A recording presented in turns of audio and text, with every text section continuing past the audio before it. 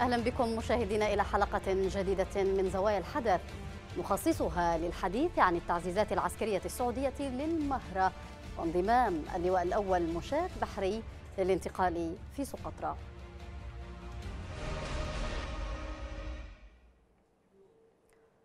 قالت لجنة الاعتصام السلمي بالمهرة إن القوات السعودية عززت تواجدها العسكري بحملة عسكرية مؤلفة من عشرات الآليات والجنود مطالبا السلطة المحلية بالمهرة والأحزاب والقبائل للوقوف صفا واحدا لإيقاف التجاوزات والانتهاكات السعودية لسيادة المحافظة. إلى ذلك أعلنت قيادة اللواء الأول مشاة بحري في محافظة سقطرى تمردها على الشرعية وانضمامها إلى ميليشيا المجلس الانتقالي المدعومة إماراتياً. نتوقف عند هذا الخبر لنناقشه في محورين الوضع الأمني في سقطرى والمهرة وأهداف التحالف من تعزيز وجوده العسكري شرق البلاد. نذهب مشاهدينا لمتابعة هذا التقرير ومن ثم نعود لبدء النقاش مع ضيوفنا. تعزيزات إلى المهرة وتمرد في سقطرى هكذا يبدو الوضع في المحافظتين المسيطر عليهما من قبل التحالف السعودي الإماراتي والبعيدتين عن المواجهات مع ميليشيا الحوثي. تأتي التعزيزات السعودية إلى المهرة بعد أيام فقط من إعلان التحالف هدنة مع ميليشيا الحوثي معللا ذلك بالتفرغ لمواجهة أزمة كورونا.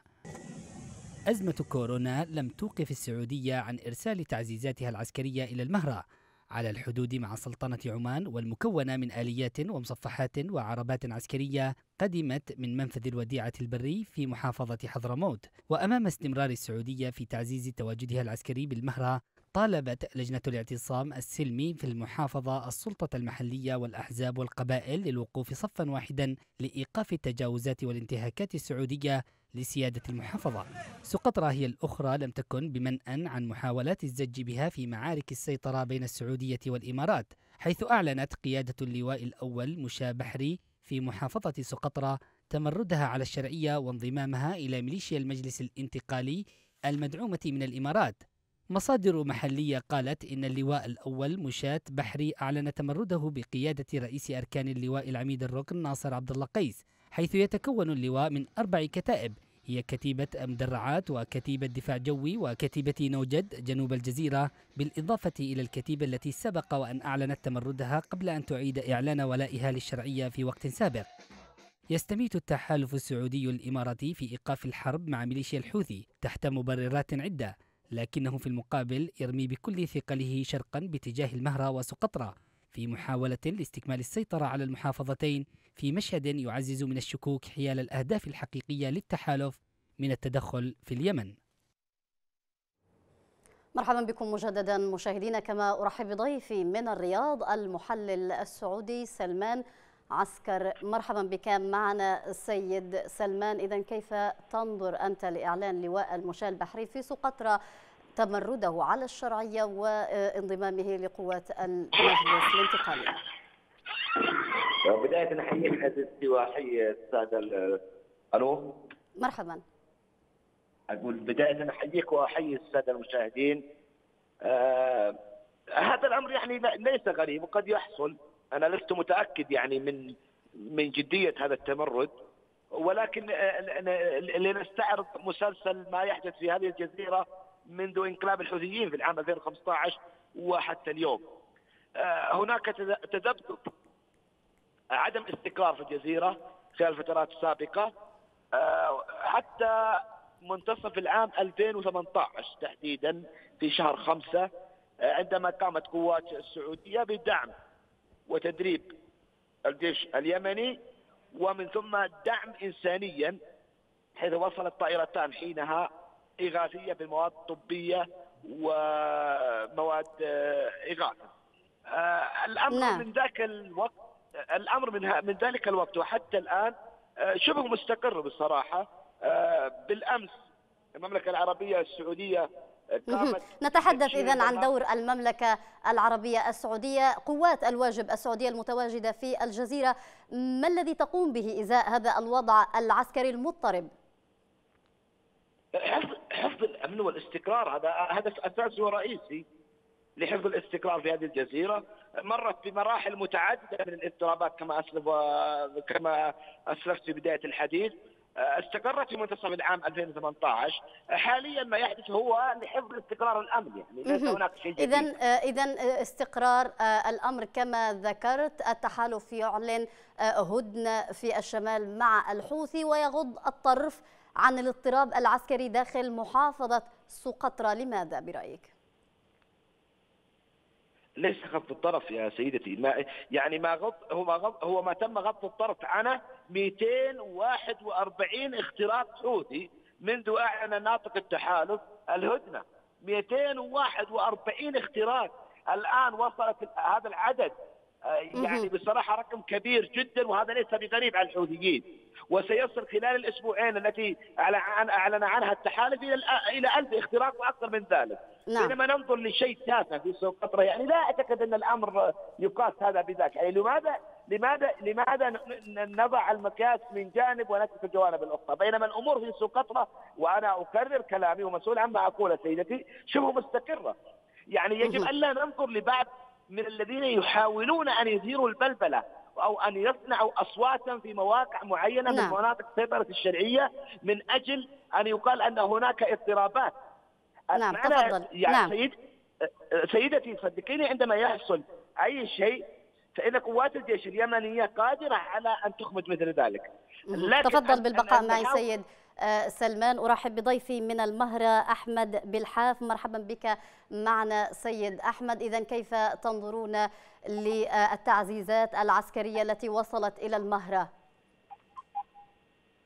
أهلا وسهلا واهلا بضيوفك الكرام. يعني كما تعرفوا ونكرر دائما أن السعودية لو تأتي عبر الأبواب القانونية، لو تأتي عبر الدولة، لو تأتي كنا رحبنا بها وقدرنا مصالحها ولكن السعودية تابع ان تأتي من الأبواب الخلفية وتحت جنح الظلام وكما عهدناها. يعني دائما هي هكذا وتعمل على على على على احتلال محافظة المهرة. فما رأيناه بالأمس هو استمرار لنهجها الذي اتخذته في محافظة المهرة منذ نوفمبر 2017 في ظل الوباء المنتشر عالميا جائحة فيروس كورونا. لم تبالي السعودية ولا قواتها باتجاهات منظمة الصحة العالمية بالالتزام وعدم التنقل بين البلدان. رأينا عشرات القواطر تحمل الجنود وتحمل الآليات العسكرية والمدرعات وتصل إلى مح... عابرة بشبوة وحضرموت وصولا إلى محافظة المهرة. وهذا ما يهدد الجانب الصحي أيضا.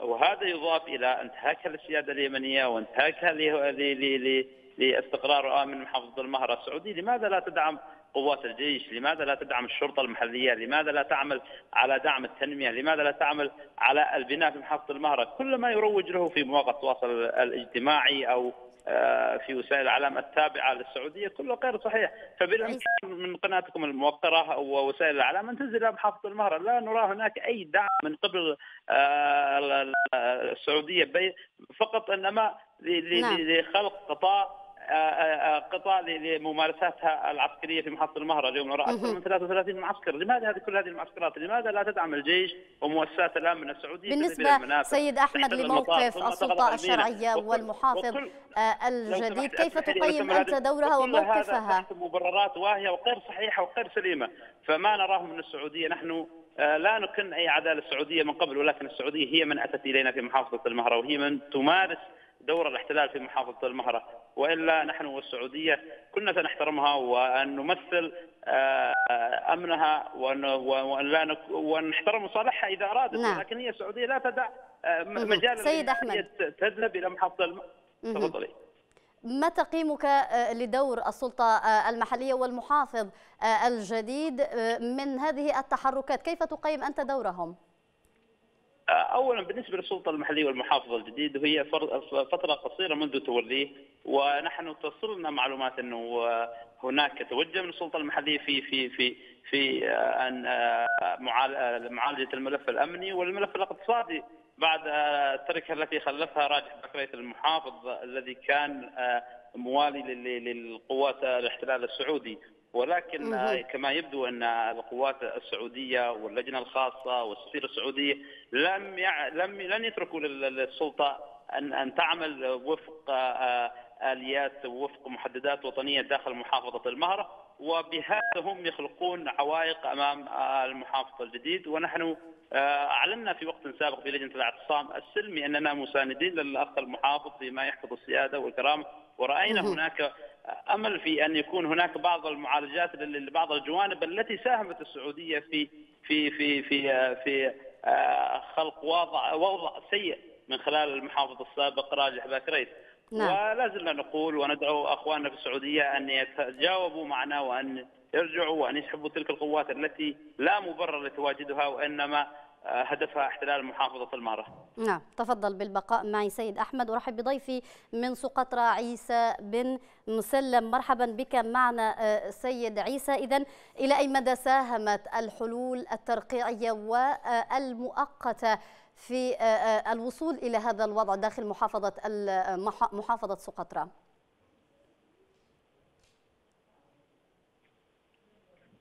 أهلا وسهلا فيك وفي في المشاهدين. مرحبا بك.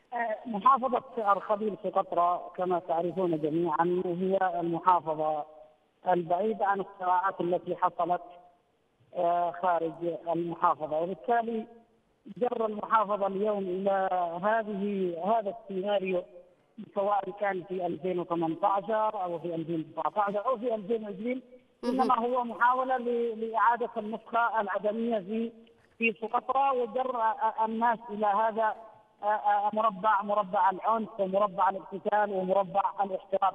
ما حصل اليوم من تداعيات لسقوط الكتائب سواء لثلاث كتائب تابعة للواء المشاة بحري يأتي في سياق احراج دولة الإمارات العربية السعودية للدور السعودي المتواجد في جزيرة سقطرى لوجود قوات الواجب السعودية. كما حصل قبل أيام من اختطاف رئيس اللجنة رئيس لجنة اكرام مكرمه الملك سلمان. هذا هذا يندرج في هذا السياق لأن استمرار صرف المكرمه السعودية في سقطرى يعني احرج دوله الإمارات واحرج أيضا معاونيها ومندوبيها في في سقطرى هذا الإخراج اغاظهم وكما اغاظهم أيضا سقوط معسكر القوات الخاصة قبل يومين نعم. ما حصل اليوم إنما هو عبارة عن امتزاج يراد له عبارة عن بث طمأنينة وإعادة اعتبار لهم ولانقارهم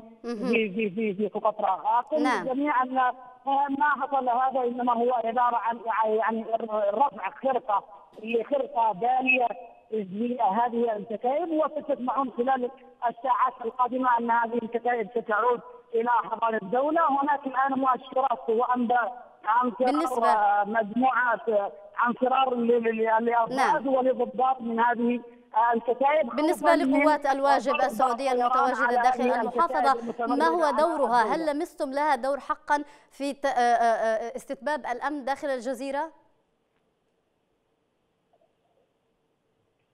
قوات الواجب السعوديه تقف جنبا إلى جنب إلى مع السلطة المحلية وإلى قوات الجيش الموافقة هنا في ارخبيل سقطرى نحن نثق بالدواء السعودي في في في سقطرى هنا. وتواجد القوات السعودية عبارة عن يعني ما هو إلا إعادة اعتبار للشرعية لم تسمح بتصوري وباعتقادي أنه لم تسمح السعودية لأن تكون سقطرى تسقط بيد الانتقالي كما سقطت عدن وكما نعم. سقطت بقية المحافظات المحررة. نعم تفضل بالبقاء معي سيد عيسى. الاجواء السعودية في هذا في هذا المربع. لكن نعم تفضل بالبقاء معي سيد عيسى. أعود إليك سيد سلمان. إذا التحالف أو السعودية كقائد لهذا التحالف كيف تنظر لهذه التجاوزات التي تقوم بها الإمارات بدعمها للانتقال وما وصل إليه الوضع الآن داخل الجزيرة؟ أنا لا زلت أكرر سيدتي هناك توجيه تهم بوجود إماراتي عمل إماراتي ما شابه ذلك في محاولات يعني لضرب التحالف العربي في العمق. ما يحدث سواء في سوق قطرة أو في في المهرة ودعيني أضرب لك مثالا حيا مباشرا. المهرة عندما أحكمت القبضة عليها منذ سبعة أشهر بشكل قوي للتحالف العربي وبتحت وتحت نظر التحالف العربي قطعت امدادات التهريب. لذا حدثت قبل أربعة أشهر أصوات ومعارضات في المهرة تريد أن أن أن تستفز الرأي العام لماذا؟ من هم هؤلاء؟ هم المهربين هم الذين نعم إذا كيف آه، آه، يعني يمكن فهم سياق الأحداث آه، هذا التزامن غير المفهوم لوصول تعزيزات إلى المهرم مع إعلان اللواء داخل سقطرى التمرد على الشرعية سأصل إلى هذه النقطة سيدتي نعم. بعد ذلك اتضح أن الذين يصارخون وينبحون في المهرة هم مهربي الأسلحة والمخدرات. قضي الأمر. الآن ما يحدث في سوق قطرة. هو مثل ما يحدث في الضالع مثل ما يحدث في إبدي مثل ما يحدث في معرف تلك المنطقة التي هي تحت سلطة الشرعية. هناك أناس يعملون ضد التحالف العربي سيدتي هناك أشخاص يعملون ومدعومين خارجيا لإثارة البلبلة ولمحاولة إظهار أن هناك انسحابات وأن هناك انقلابات وأن هناك خلافات وخلق أمور هي لم تحدث في الأصل وليس لها واقع في الأساس. لذا ما أحب أن أؤكد علي سيدتي بالأمس ليس لنا ثلاثة أيام. لعل ضيفك الأخ العزيز الأستاذ عيسى بن مسلم من سوق قطرة وهو أقرب الحدث وضع النقاط على الحروف. المملكة العربية السعودية كانت تقدم دعما قبل يومين أو أقل من ذلك ل 300 ل 300 صياد بشكل مباشر وعبارة عن 200 قارب للصيادين المضطررين. الأمور تعود إلى إلى طبيعتها والاستقرار يعود لكن لا أعلم من الذي يحاول في هذه المرحلة تحديدا إدارة مثل هذه الأمور. في هذه المرحلة الحرجة التي هي بصراحة جائحة على العالم جائحة كورونا والتي اليمن أول وأهم دولة بحاجة إلى الاهتمام والعناية والتركيز بدلا من إدارة هذه الشوشرة نعم إذا إذا كيف يمكن فهم آه، هذا التزامن بالنسبة للمشاهد وصول هذه التعزيزات إلى المهرة مع التمرد داخل الجزيرة؟ أمر طبيعي سيدي ومن المتوقع ومن المفترض وأنا أؤكد على ذلك أن يحدث هناك تعزيزات لحماية هذه الجزيرة، كما تعلمين وأنت بنت اليمن تعلمين أن هذه الجزيرة تمثل أهمية كبيرة واستراتيجية. هذه الجزيرة خلال فترات سابقة وخاصة في العامين 2016 و2017 استغلت للتهريب. وتم نعم. عن طريق هذه الجزيرة دخول كميات كبيرة من الصواريخ والأسلحة والمستجرات. لذا فإن فتح الأعين والتركيز عليها مثل ما هو المهرة أمر يجب ويجب وأنا أحمل التحالف مسؤوليه ذلك لأن هذا هذه نقطة استراتيجية للتهريب من القرن الإفريقي وعن نعم. طريق البحر. تفضل بالبقاء معي سيد آه، سلمان. أعود إليك آه، سيد أحمد. إذا من يثيرون البلبلة داخل محافظة المهرة؟ كما ذكر السيد سلمان هم مهربي آه، مهربين داخل المحافظة ومستفيدين من إثارة الوضع.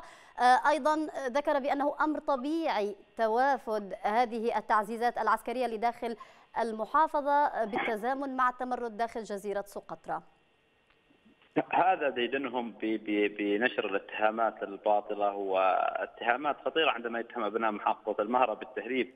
هم هم مجرد ادعاءات لا, لا دليل لها. ف وعن المخدرات فدائما هم يكررون سالفة المخدرات والحديث عن المخدرات فلو سألنا عن المخدرات فهي موجودة داخل مطار الغيرة داخل القاعدة القاعدة العسكرية السعودية. هم من يستخدم المخدرات ومن يروج لها. هم السعوديين دائما. فلذلك آه، ضيفك دائما في في حلقات سابقة يكرر المخدرات المخدرات لأنهم يعرفونها جيدا. أبناء محافظة المهرة محافظة المهرة طوال الفترات السابقة لم يسجل أي حاله تهريب من محافظة المهرة، محافظة المهرة كانت آمنة مستقرة، بل استقبلت النازحين من من الذين تضرروا من ويلات هذه الحرب العبثية، هم وصلوا إلى المهرة بتعزيزات عسكرية لتكريس جهودهم العسكرية لاحتلال هذه المحافظة. أبناء محافظة المهرة هم آه، بقبائلهم بشرائحهم بفئاتهم بأحزابهم بشخصيات من من من السلطة المحلية رفضوا هذا الاحتلال، كيف لهذا الشخص أن يتهم بهذه الاتهامات الباطلة؟ فنحن نرفضها جملة وتفصيلا وندعوهم إلى إلى احترام عقول الناس واحترام الراي العام واحترام محافظة المهرة، ثم أن محافظه محافظتنا اسمها المهرة وليست المهرة، فهو يجهل حتى اسمها فكيف لا أن يتحدث بشأن محافظة المهرة؟ فمثل هؤلاء الضيوف نحن عتبنا عليكم أن تضيفوا مثل هذه الشخصيات وتتهم محافظة المهرة بهذه الاتهامات الباطلة، فنحن نعود ونكرر إن في لجنة الأعتصام السلمي وبتأييد قبلي وبتأييد شعبي في محافظة المهرة رافضين لانتهاك السيادة الوطنية في محافظة المهرة ونساند أبناء محافظة سقطرى أيضا اليوم نعم ذكر أيضا في حديثه أنه من الطبيعي تعزيزات العسكرية الواصلة إلى المهرة. هذا أمر طبيعي تزامنا مع الانقلاب داخل جزيرة سقطرى هل تنظر أنت له بهذا المنظور بأنه أمر طبيعي؟ لا هو ليس طبيعي لكن بالنسبة لهم ووفق اجندتهم أجندتهم وأطماعهم هم يرون أمر أمر يعني يرونه أمر طبيعي لأن لتكريس الاحتلال و و واستقلال الفرص أنهم يحاولوا فرض الاحتلال بصورة أكبر وأقوى حتى لا يكون هناك أصوات معارضة لتواجدهم. فنحن نرى في محافظه المهرة الاحتجاجات والتصعيد الإعلامي يوم بعد آخر في ازدياد وفي وهناك سخط شعبي على مثل هذه الممارسات والتصرفات. واليوم لجنة الأعتصام السلمي أو بالأمس فقد اعلنت عن عودة نشاطاتها السلمية في عن ترتيب اعاده النشاطات وفعالياتها السلمية في محافظه المارة وبمباركة من شيوخ القبائل وبمباركة من زعيم القائد الشيخ علي سالم الحريزي. وهناك فعاليات وأنشطة ستستمر وستعود إلى الساحات. رفضا لهذا الاحتلال السعودي في محافظه المارة ومساندة لأخواننا في جزيرة سقطرى التي تعتبر الامتداد التاريخي لمحافظة المهره. نعم شكرا جزيلا لك أحمد بالحاف. كنت معنا من المهرة. أعود إليك سيد عيسى. اذا ما هو المطلوب داخل محافظة سقطرى لاستتباب الأمن سواء من قبل التحالف أو حتى من قبل الحكومة الشرعية؟ ما الذي تريدونه؟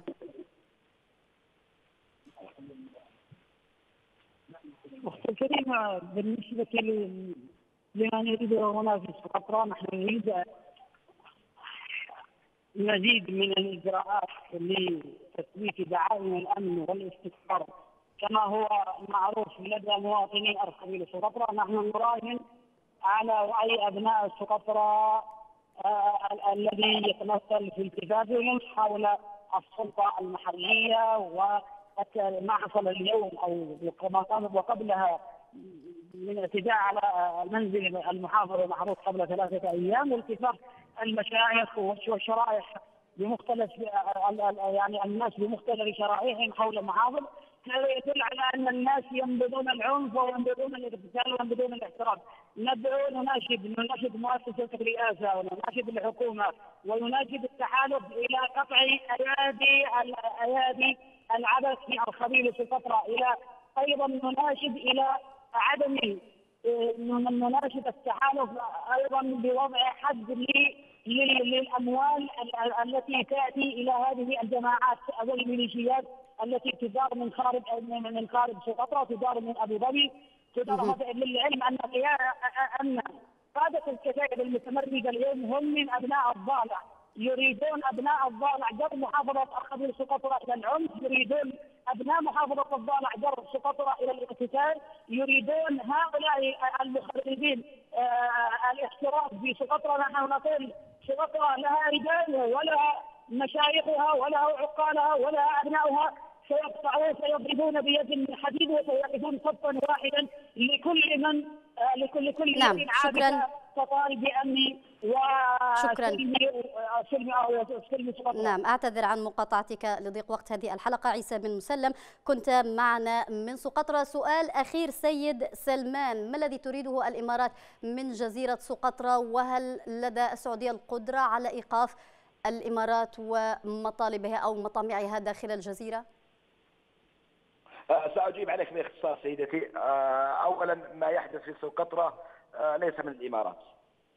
بعمل واضح وصريح العمل هو عمل تركي قطري إيراني والحوثيين هم المستفيد مما يحدث.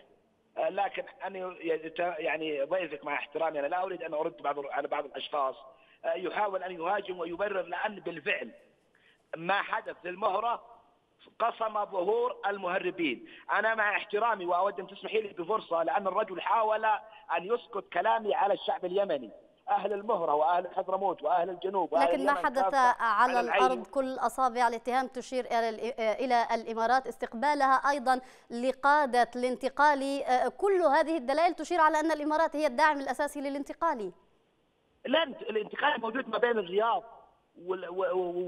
ودبي يعني شيء طبيعي. الشرعية يا سيدتي وزراء الشرعية موجودين في دبي. سيدتي ما لا يعلم البعض أو الكثير أن الإمارات والمملكة العربية السعودية صدقيني جسد واحد. التحرك بين الرياض ودبي أمر طبيعي. لكن هناك من يحاول أن يشعل بديل الفتنة بين قوتي التحالف أو رأس حربة التحالف اللي هي المملكة العربية السعودية والإمارات، صدقيني أنا واضح وصريح ولا أريد أن أنزل إلى غير الحقيقة. أنا هدفي هي الحقيقة، هدفكم في قناتكم الحقيقة، لو لدي معلومات غير ذلك سأوضح لك، ولكن أرجو بما أن وقتك ضيق أن تسمحي لي اذا أفهم أفهم من حديثك أن هناك تنسيق وربما تفاهم حول ما يحدث في جزيرة سقطرى ما بين السعودية والإمارات؟ طبعا هناك تنسيق نعم. كبير جدا لمواجهة نعم. اي تدخل يحصل في سقطرى شكرا جزيلا لك سلمان. عسكر المحلل السياسي كنت معي من أو المح... نعم المحلل السياسي كنت معي من السعودية وأعتذر عن مقاطعتك لانتهاء وقت هذه الحلقة. كما أشكر ضيوفي عيسى بن مسلم كان معنا من سقطرى وأيضا أحمد بالحاف كان معنا من المهرة. شكرا لكم مشاهدينا على حسن المتابعة. تحياتي وتحيات معد هذه الحلقة. عبد الرقيب الأبارة كما هي لكم من الزملاء في الكنترول. إلى اللقاء.